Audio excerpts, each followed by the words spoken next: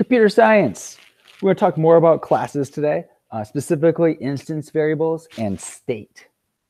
So remember, objects have behavior and state. Behavior is the things that the object can do, the methods, and attributes are the things that the object remembers, the things that it knows. Uh, these are going to be represented by instance variables. And the state is the values that are assigned to the attributes. So each, every clock is going to have the same behavior and attributes, but each instance of the clock will have different values for its state. When we write a class, we are defining the behavior and the attributes um, of an object, of a type of object. And when you instantiate that object, it will uh, create an object with this behavior and the attributes. In your code, behavior is represented by methods and attributes are represented by uh, instance variables. Um, so this is this is still all old stuff. When you uh, declare class, you've got your class header, public class, name of class. Within the body of the class, you can define a bunch of methods. Each method has its own header and body, uh, public return type, name of the method with um, parentheses for its parameter list. You can have many methods. Uh, and this defines the behavior of an object, the things that it can do. You can also define your instance variables in the class. When these define the attributes, what your object uh, can know. And instance variables are real simple. They're variables. You have to name the variable um, and they use the same rules and conventions as any other kind of variable. You have numbers, letters, underscore. You can't start with a number. And we use camel case. The first letter is lowercase. That is how you name an instance variable or any variable. Um, you have a type. So just like any other variable, you have to declare the type. What is the type of this instance variable? Int, double, boolean, or the name of any class that you've created, because those are also types that you've created. Uh, and then you have a visibility. So instance variables will always be private. Um, so private type, name of instance variable, semicolon, that is how you declare an instance variable. And you can have as many instance variables as you need. Um, of course, each instance variable would need a, a unique name, they might have the same types as each other. They might have different types. That, that doesn't really matter. Uh, the type matters for the particular instance variable. Um, yeah, whatever whatever attributes this object needs, you, you just define them as instance variables. We usually put those at the top of our class all together, followed by all of the methods.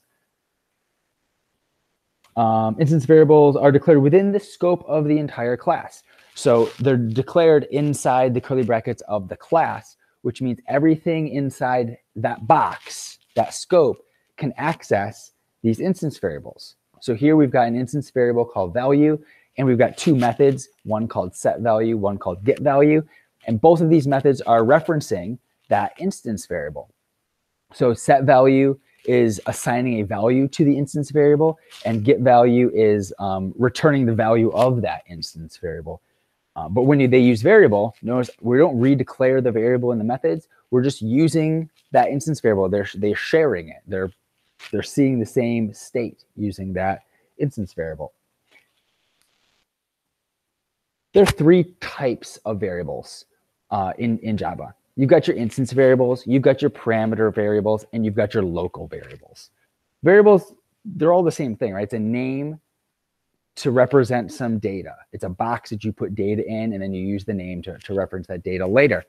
Um, the difference between the types of instance variables is how they get assigned data um, and the, the scope with it where they exist. So parameters and local variables, they exist within the scope of the method where they're declared. So this, these parameters only exist within, uh, this parameter v only exists within the set value method.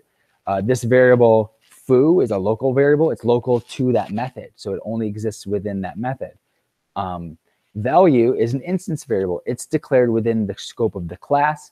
So it exists in all of the methods. All of these methods can access uh, value. Get, val get value, this method down here, cannot access the foo variable and it cannot access the v variable because it's in a different scope.